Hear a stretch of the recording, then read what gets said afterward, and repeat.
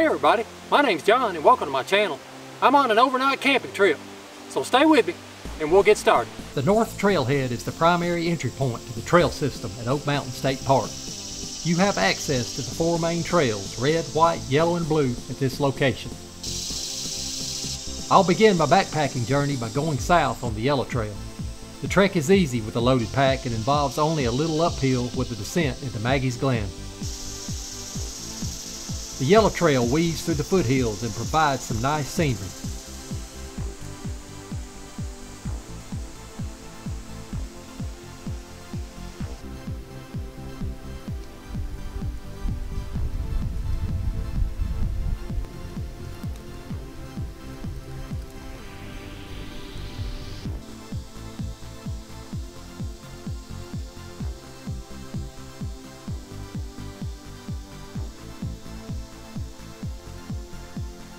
I'm on the Yellow Trail just north of Maggie's Glen. I'm headed to Backcountry Site 2, which is south of Maggie's Glen. It's about probably a little over a mile to Backcountry Site 2. This section of the Yellow Trail takes you through a small pine thicket.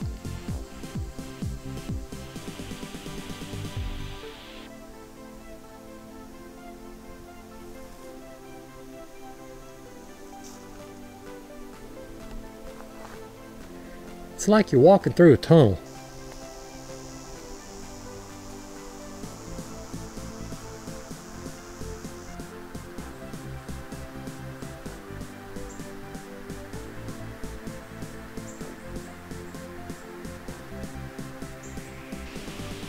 We're down here at Maggie's Glen.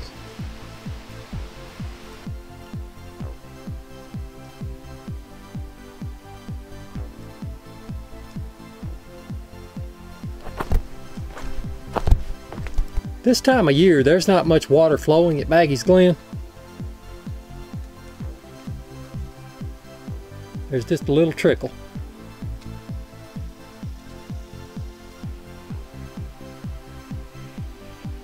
We're just south of the Glen on the Yellow Trail. This will take me to Camp 2. Here we are, Camp 2.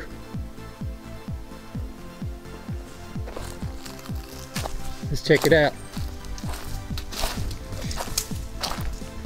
It's a good site. It's just right off the Yellow Trail. It's not far from the North Trailhead. It's about a mile and a half hike to get over here. Give you a little 360 tour.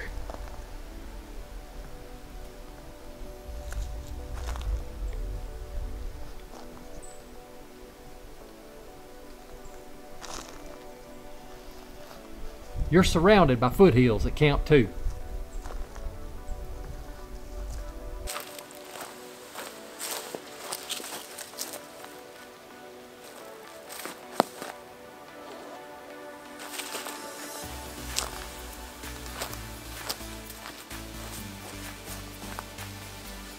Believe it or not, setting up my hammock system is one camp chore I don't mind doing. I like dialing it in to fit my comfort level.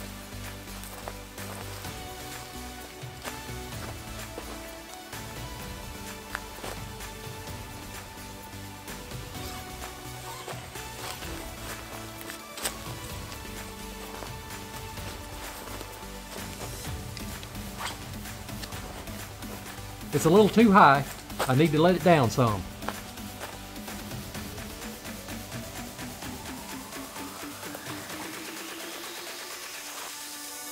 Now that's the right level. I hook my gear to the ridge line with a carabiner.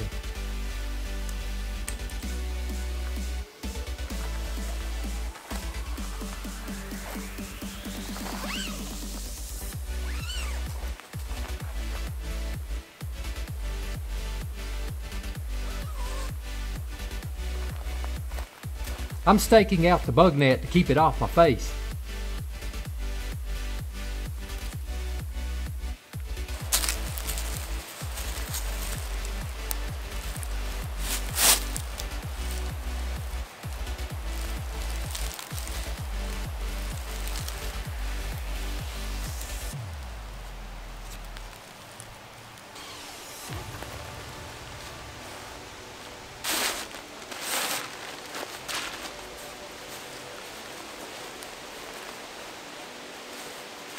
Always fluff the down after pulling it out of the stuff sack.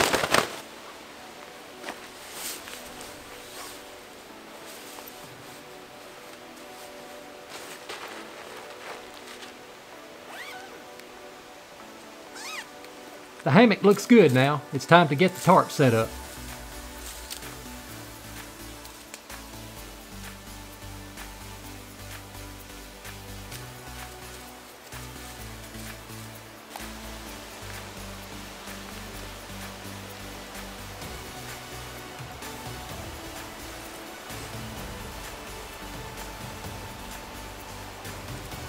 We're all set up now. You're looking at the Warbonnet XLC Blackbird. And that's the Warbonnet Superfly tarp. That ground pad is a Z-Packs footprint for one of their tents.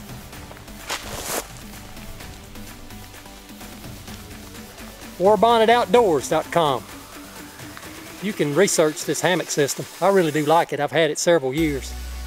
I switched to a hammock several years ago because tent camping made my back and hip sore. And I tried a different hammock when I first started. I got a cheaper one just to see if I'd like it. And once I figured out it was going to work for me, I spent more money and got this better hammock. This thing's fantastic. I love it. It has a mosquito net. This is my summer setup. I don't put any insulation underneath. Here in Alabama, you don't need insulation this time of year.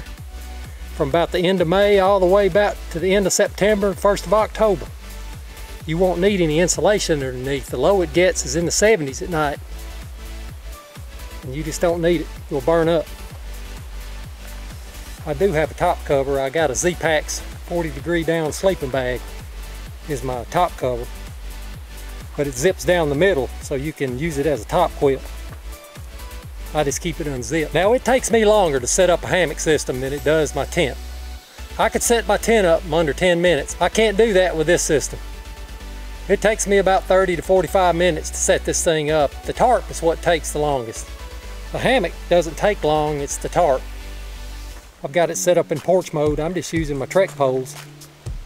I don't have any trees handy to tie off to. That's my UCO candle lantern. This is the front. The right end's my head. I'll take you around it. You've seen it if you've watched my previous videos, I do this every time.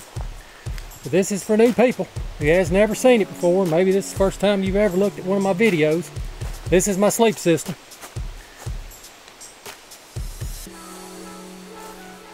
Here's the back. Now I pitch it lower to the ground on the back. I always do it like this.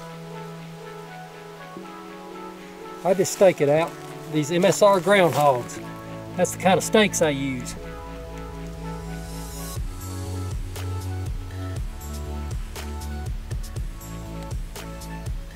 These are the regular groundhogs, not the minis.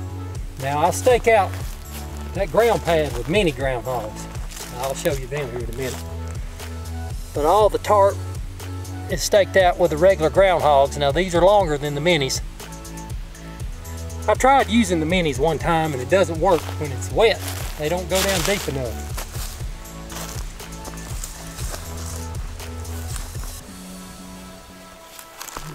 This little orange strip you see here is just a piece of shock cord. Now see, that's already gotten loose since I've put the tarp up. See, that's why it, keep, it keeps it tight. I need to tighten that down a little bit, a bit more. I guess when I pulled around on the side, it may have gotten loose. Those strips, the shock cord, that orange strip, that keeps the tarp from flapping around when the weather changes and the tarp shrinks and swells. I have it on every one of my guy lines. Just a little strip of shock cord, that orange. And I tie it off with a clove hitch on both ends. My guy line is a Dyneema. It's a real light cordage. I've tried different types. I've tried bank line and paracord. That stuff's just too heavy. And I like this Dyneema. It's lightweight and it's strong. That's the foot.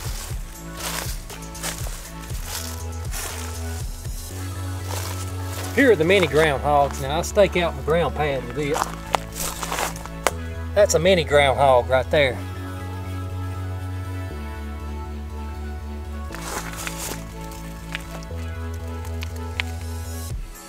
Here's what my overhead looks like.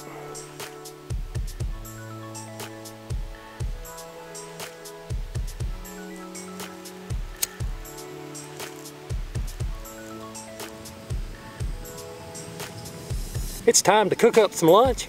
Got my Snow Peak stove going.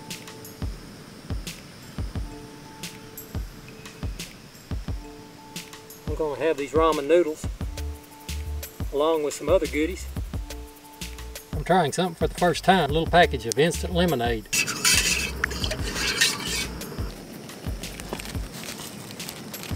This is a Snow Peak titanium cook set. The fork and mug are also titanium Snow Peak.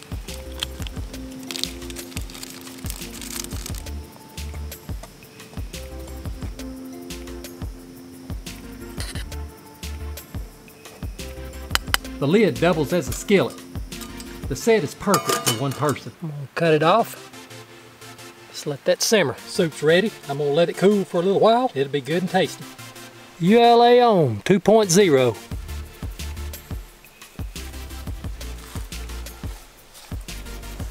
I like it, it's a good pack.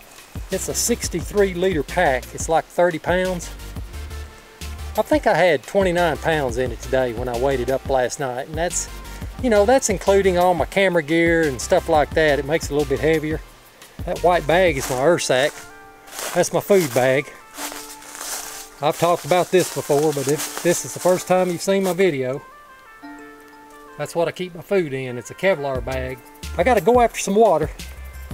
I need to go down here to this lake and filter some. There's a branch right over here close by, but I'm sure it'll be dry.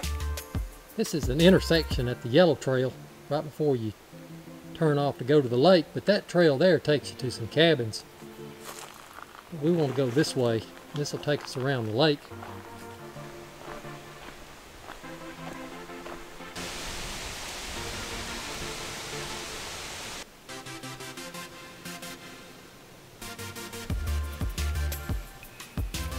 I'm filtering my water with a Sawyer mini squeeze. It's real easy to use. You just take these bladders fill them up and squeeze it right through the filter.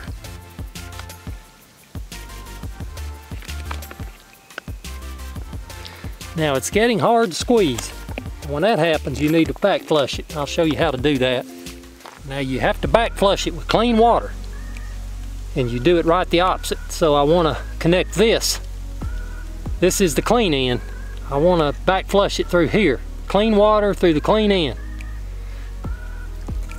If you get, that's why I bring these smart water bottles. It's got this tip on it. You can use it to back flush. Now there's a syringe that comes with this thing, but I don't use it. The syringe just comes with it to back flush it. But I, if you got these smart water bottles with these tips on them, you don't need it. Now this is the clean end right here. You just stick it on there. You push your water through it. And that's how you back flush it. Now it'll come out faster. It should come out faster now.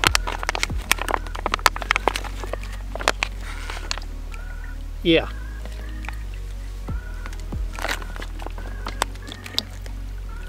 I've got plenty of water now.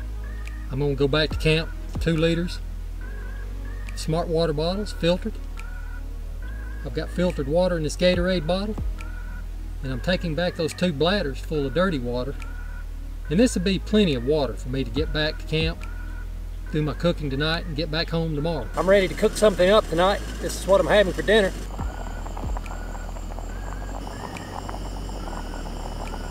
I broke camp. I'm on the yellow trail headed north, going back to Maggie's Glen. I'm back at the Glen.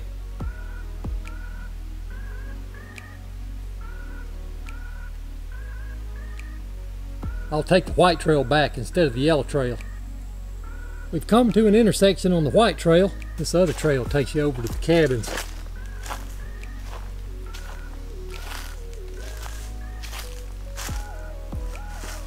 I want to go this way.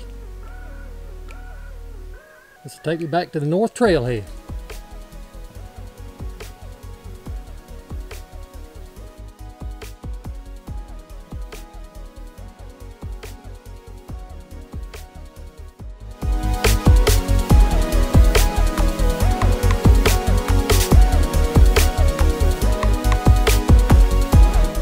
I hope you enjoyed this video.